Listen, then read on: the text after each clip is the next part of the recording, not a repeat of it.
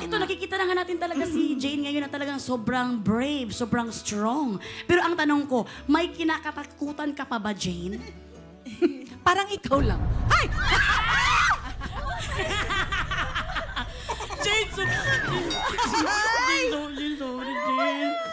Jane, Jane. Wala na iyak. Alam mo yung tanong Ayaw ko? matanggal. Ano, Sorry po. Wait, ako, akit mo na. Wait. It's Jane, it's a prank.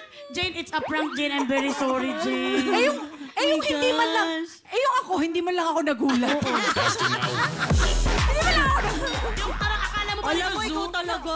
It's a prank, Jane. I'm very sorry, Jane. Takot ka sa butiki? Sobrang, ako po, humahawak po ako ng ipis ng daga. Lahat po, wag lang po talaga butiki. Ayoko po talaga ng butiki. Bakit? Anong meron sa butiki na wala ay iba? Hindi po, di ba po nag-fishing po kami?